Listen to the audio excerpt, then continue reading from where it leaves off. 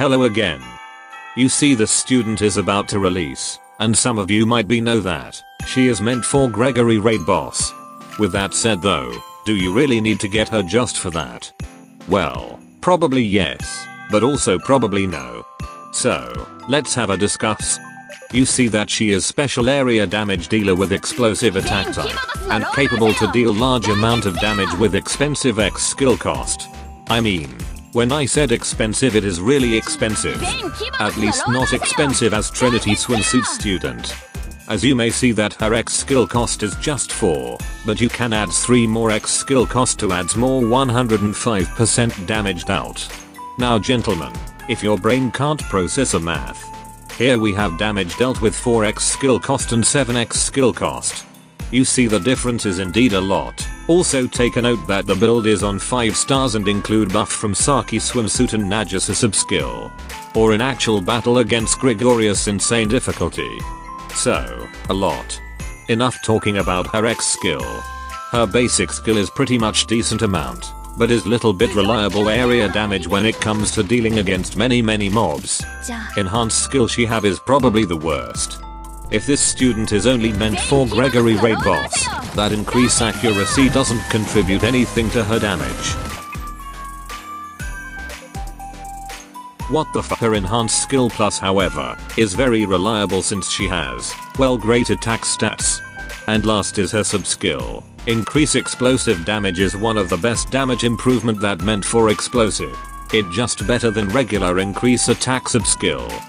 So, back again. If concerned about getting kissed by gold trophy or not be able to clear Gregory insane difficulty, then you might need her.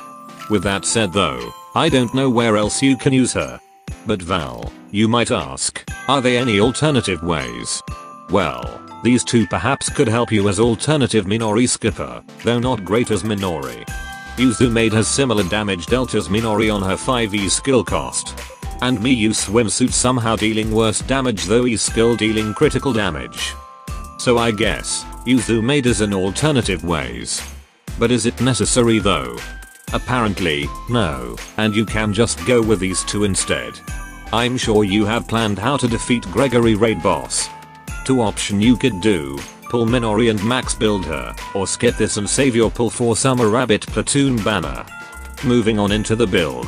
If you plan to pull her or somehow lucky getting her through raid off, and want to make her useful for your friends. First X skill increase it into level max, because most of the damage she dealt is came from this skill.